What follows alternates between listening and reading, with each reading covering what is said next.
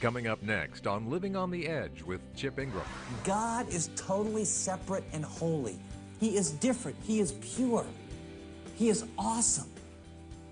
And He's not one that you want your kids to be casual with.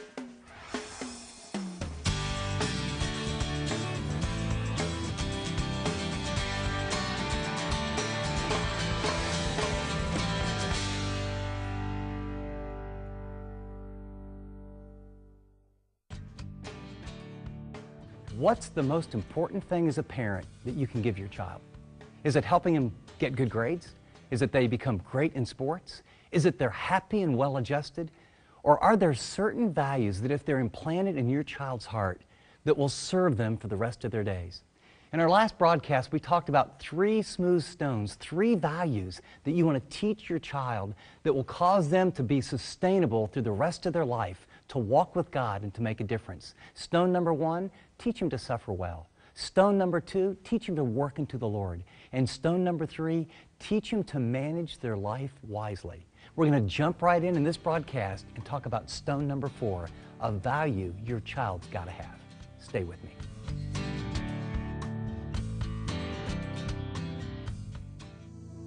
Todd, uh, I, I, believe he was about six years old or maybe seven.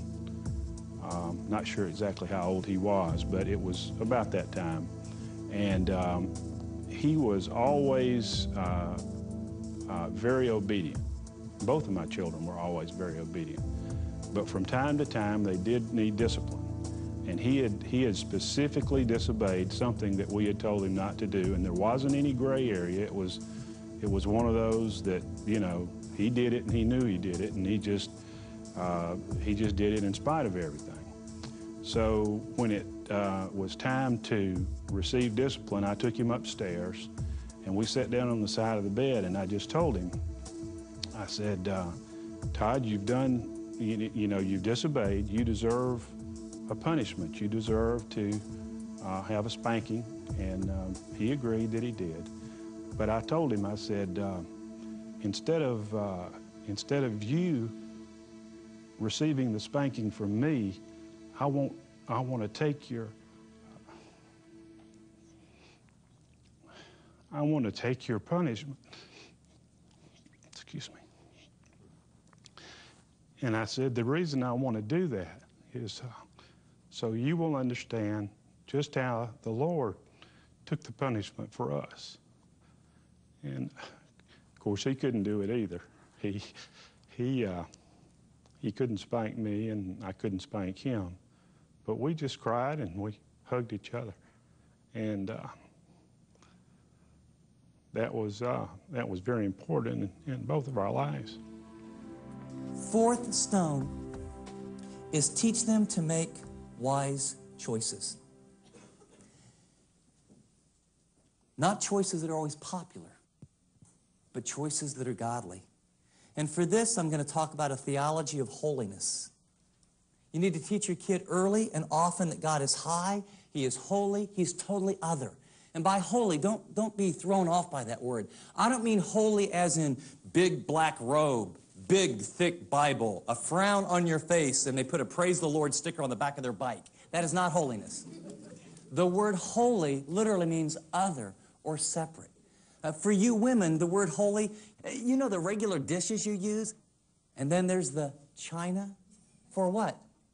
Special occasions. They're other. That's the idea of this word holy. It, it is not mundane. It is not casual. It's not everyday. God is totally separate and holy. He is different. He is pure. He is awesome. And He's not one that you want your kids to be casual with.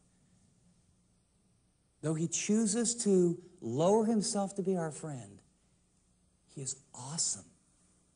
And every single person who comes face to face before God falls flat on their face. He is pure. and needs to be reverenced. And so we teach our kids that God is high and that He's holy, and God is absolute truth. In a world that doesn't know if anything is right or wrong, God is absolute truth, and God's Word defines absolute truth. And then just before they feel like you've gone into some rigid parental mode, remind them that God's laws are for our protection. Remember, obedience is what? the channel through which our children will expe- ex- experience God's blessing.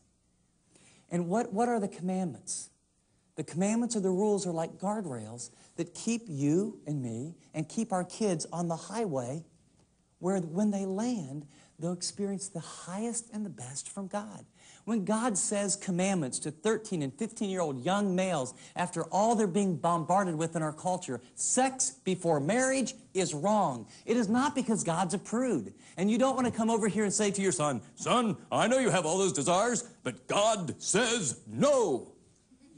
And you know, then they turn on the TV and they only watch three beer commercials, and there's all these gorgeous babes. And you know, if you drink this kind of beer, or smoke this kind of cigarettes, or drive that kind of car, all those gorgeous babes just jump in the car with you. Well, what do you think your kid's gonna believe? You going, no. Or MTV going, yeah. Huh? What do you think? And so then you sit down with your son and you say, God has given a beautiful, beautiful gift called sex, son. And you're right at that time in your life where I'm telling you, you are drawn to the opposite sex. And you know what, son? That's a good thing.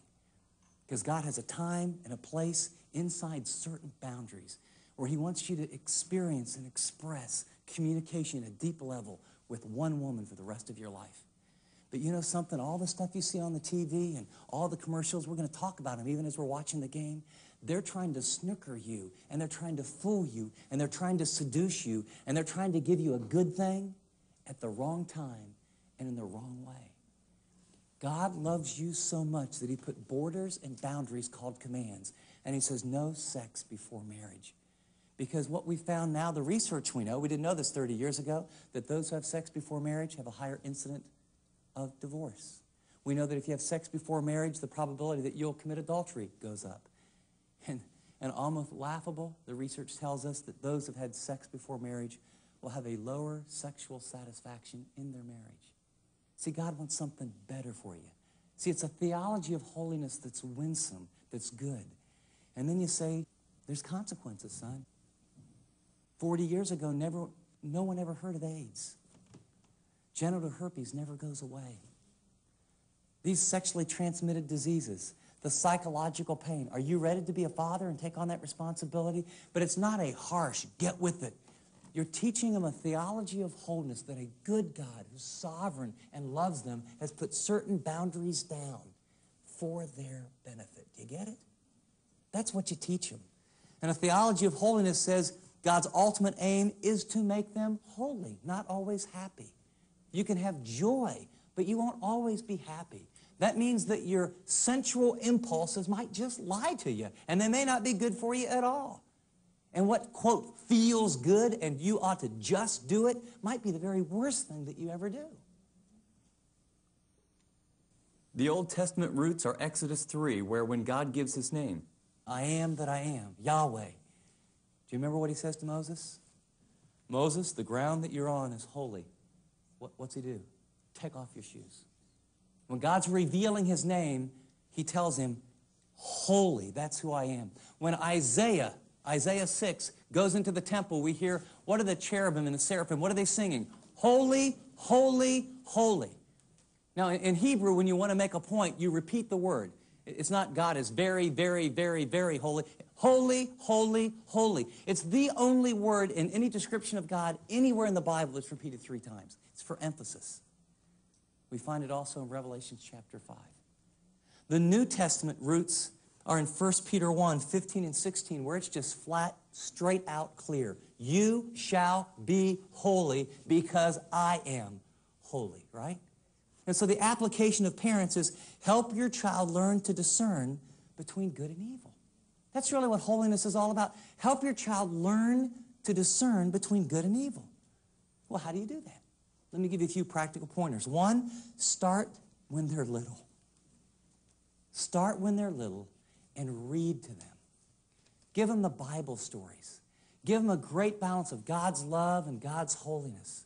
Give them, give them lots of pictures and stories about good decisions that lead to God's blessing and bad decisions that leads to a lot of pain in people's lives. And one of the greatest evidences that this book was written by God and not by men is that if a man wrote this book, we would not include all the stories of all the failures. There's a lot of people that don't come out shining very well in this one, right? It's very self revealing. So start very young. Second, read to them. Read to them, read to them, read to them, and then after that, read to them. Expose them to the truth. Um, the teenage years, I had my kids read Personal Holiness in Times of Temptation. Um, I, with one son, we went through all the major Bible themes with Chafer and Sperry, where uh, we literally did Bible studies together.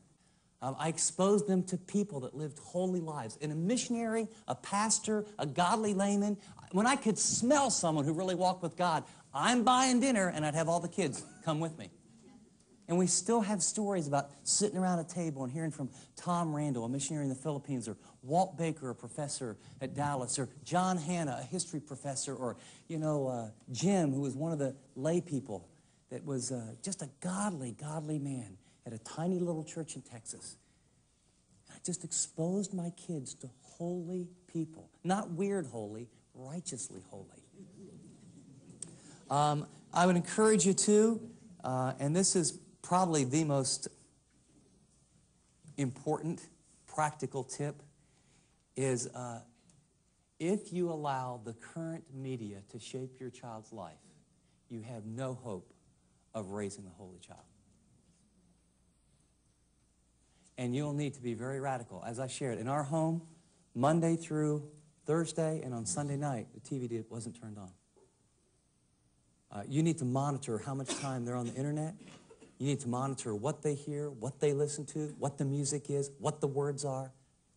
And, and you, need, you need to be on top of that because you, you're not going to take them to church for 45 minutes or an hour and have a little family devotion, if you're a great family, a couple, three times a year, and have them listening to Marilyn Manson about killing people and watching four hours of MTV and five movies this week and even watch the normal diet that's on prime time that all are telling them the exact opposite in very tantalizing, appealing ways of everything you're trying to teach them.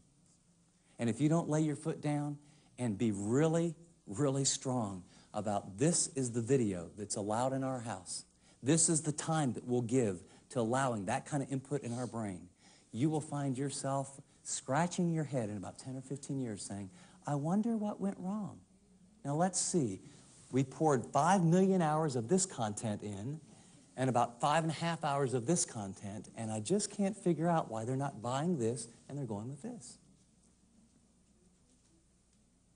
This is the unpopular one, and this is one where your kids will try you on, and they'll say all the other kids and all the other Christian parents let their kids do, and here's the line. I'm going to give it to you, parents. Are you ready? When you get this one, are you ready? This is worth the entire time.